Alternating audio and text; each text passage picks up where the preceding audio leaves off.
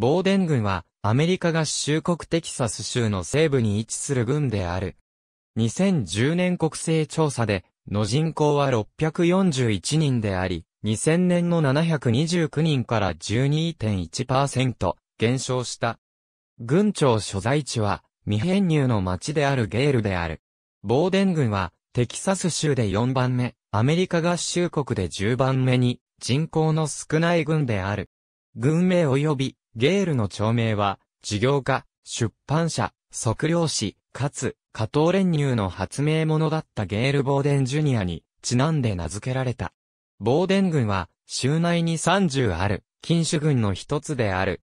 ゲールにある第一バプテスト教会ボーデン郡となった領域の最初の住人は、諸将二族及び、コマンチ族のペナテカバンドだった。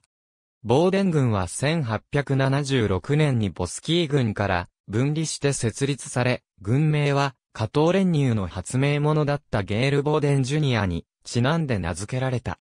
ボーデンは出版社かつ、テレグラフテキサスレジスター紙の編集者であり、テキサス共和国の政治指導者でもあった。1891年に軍の組織が作られ、ゲールの町が軍庁所在地に指定された。軍内に農夫や牧場主が入ってきたが、人口は比較的少ないままだった。1902年、テキサス州が土地を開放し、ランドラッシュが起こった。新しく入ってきた者たちは綿花を栽培した。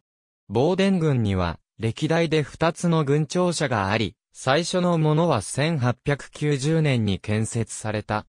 現在のものは、レンガとセメントで作られており、1939年に完成した。建築家はデイビッド・エス・キャッスルだった。1949年に軍内で石油が発見された。この年から1991年までに累計の石油生産港は3億4000万3000バーレル以上になった。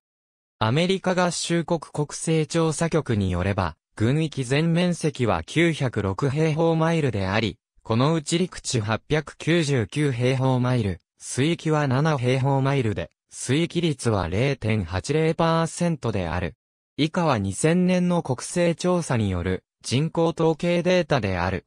ボーデン郡では、週刊新聞、ボーデンスター一紙があり、学校と軍の記事を掲載している。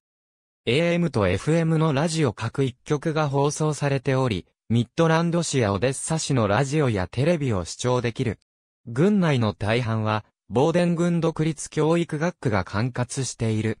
幼稚園前から12年生までを教えている。ボーデン軍学校は、結出したグレートスクール評価の10点のうち9点を得たことでは、テキサス州でも数少ない公立学校の一つである。教師の多くは、ゲールの教育委員会が所有する家屋に住んでいる。学校は6人制、フットボール、バスケットボール、野球及びテニスを教えている。アシスタントコーチのフェルナンド・バイザはこの学校の卒業生であり、社会科を教えている。ありがとうございます。